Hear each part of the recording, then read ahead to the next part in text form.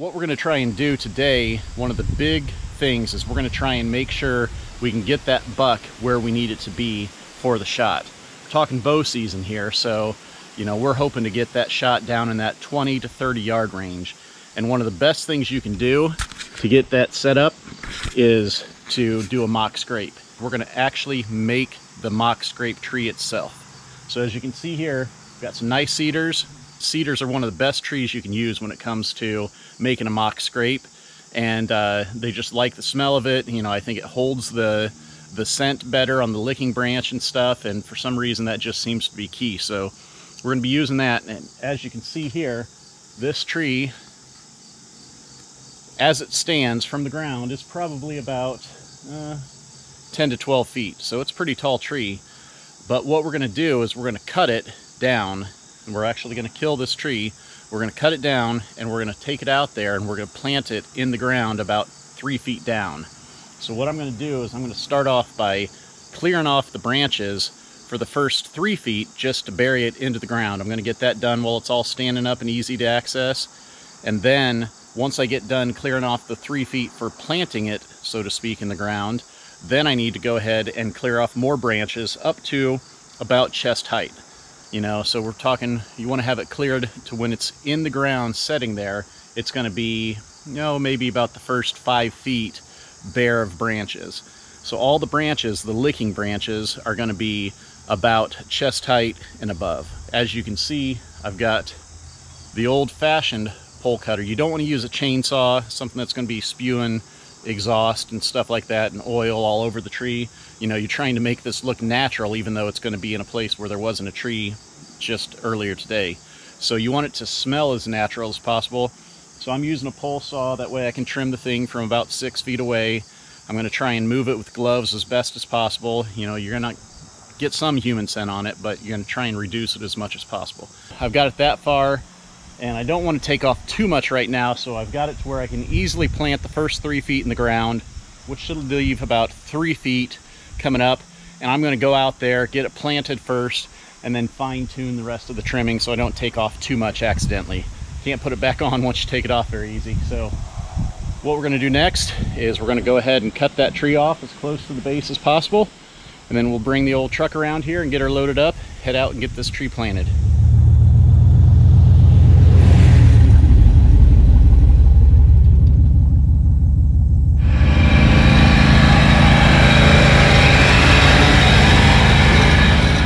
the next thing we're going to do is pick the actual spot. Now, tree stand is up there in the tree. You can see the straps kind of hanging around it. That's where I'm going to be sitting. I'm going to be hunting at since all the cover's out this way. I'm going to be hunting at when the wind is shooting out that way. So I want to keep that in mind. You always want to keep that in mind when you go to plant a scrape tree. Where are you going to be hunting? In what wind? And what direction do you need that scrape to be so the wind is going away from you so you're not putting yourself into a situation where you're drawing those bucks into where they're going to smell you.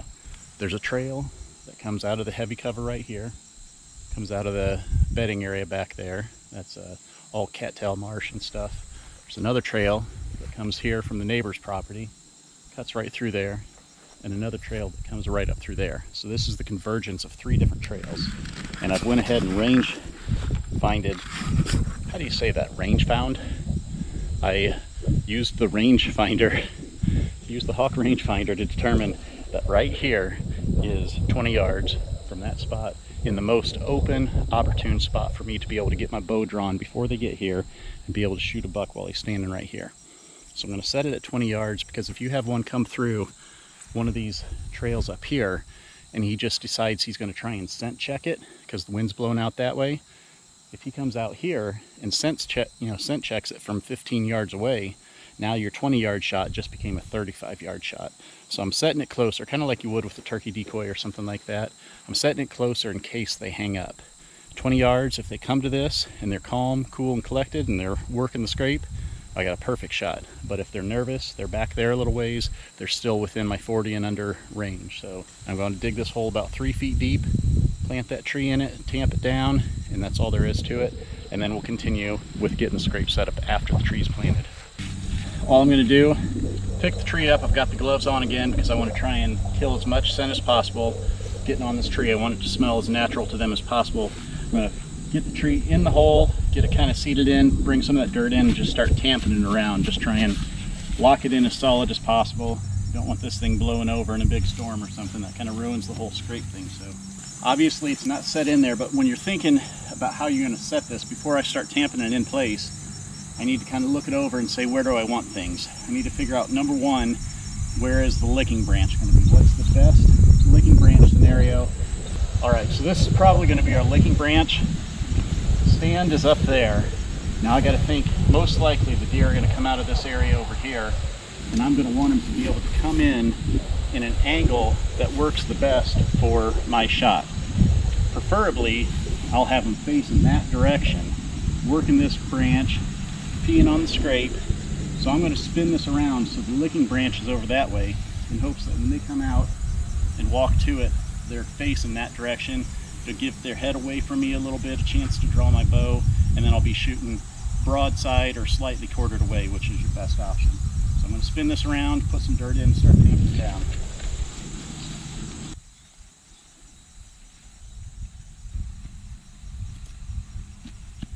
It's in good and solid.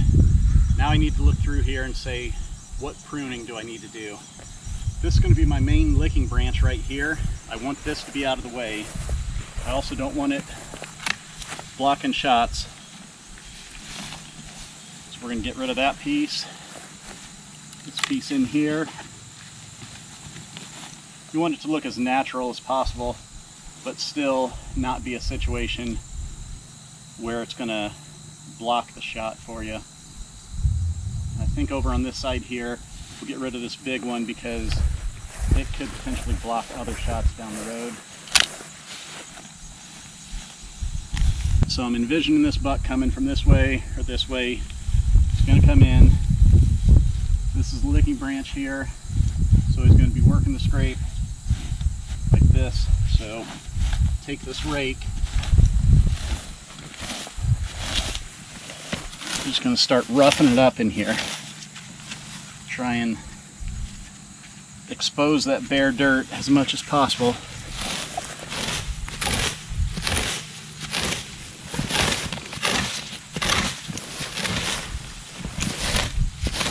Hay farmer's going to love this. And now the secret weapon to finish this thing out. Now hopefully this will get them coming to it just because it's going to be a convenient place for them to make a scrape. They're going to think that there's competition in the area, but we're going to make sure that they know there's competition in the area. Hightower products, if you haven't checked them out, they've got some awesome products, you know, from food plot seeds to minerals and stuff like that. I love using their HD 200 to, you know, keep the deer supplemented throughout the year. It helps with those racks. But this here, they make, it's called the licking branch. And this thing is sweet. So here's all you do.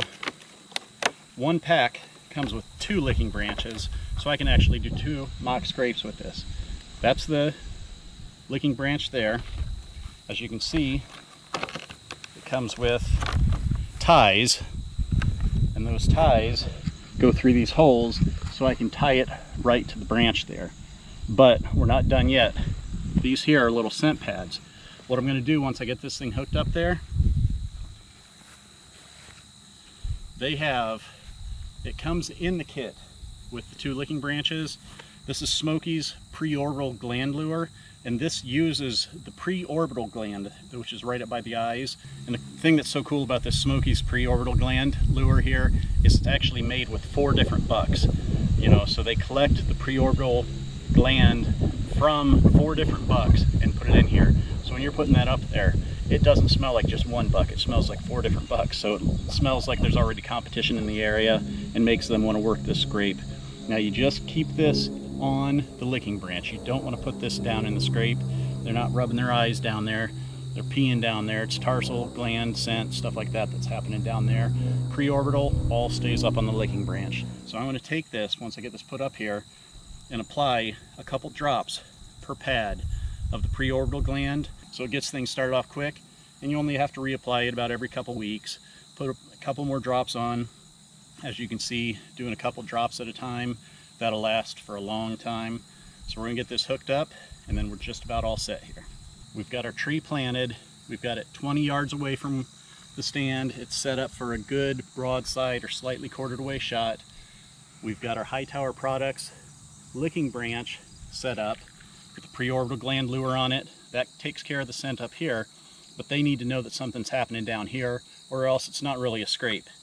That's where Grave Digger from Code Blue comes in. If you guys haven't tried this stuff, this stuff's sweet.